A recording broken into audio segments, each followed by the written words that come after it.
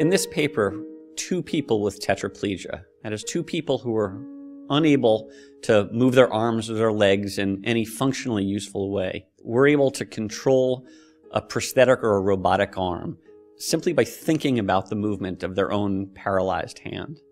And they did that using the investigational BrainGate neural interface system. So they thought about using their own arm and hand as though they were reaching out themselves with their own limb, and the robotic arm moved much the way their own arm would have moved. One of the long-standing questions, not only in neuroscience, but in neurorehabilitation, is whether the cells in the motor cortex and other parts of the brain, whether they continue to function the same way years after that original injury.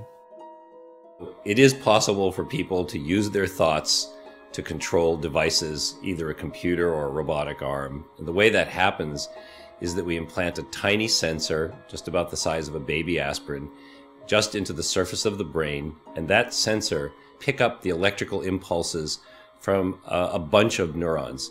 And each of those little neurons are like radio broadcast towers putting out impulses.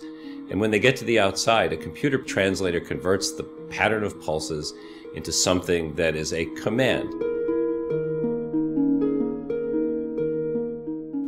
One of our participants was able to do something uh, that, when all of us saw it uh, for the first time, uh, gave us all pause.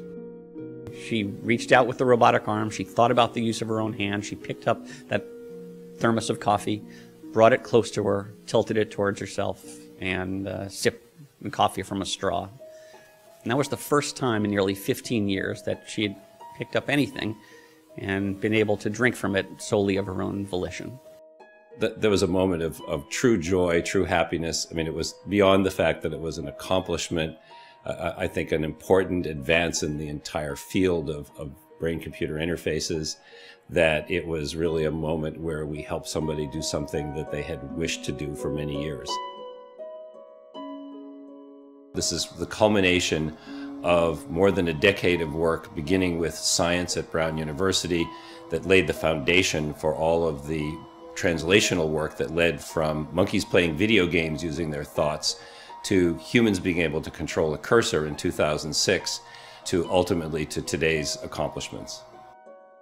This kind of research can only happen when institutions come together and bring together teams of scientists and engineers and physicians to work closely together to create the ultimate device, one that works 24 hours a day, seven days a week, works perfectly every time, and works for a lifetime that's where we're all headed.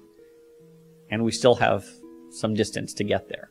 But to know that it's possible makes all of us quite encouraged about the future.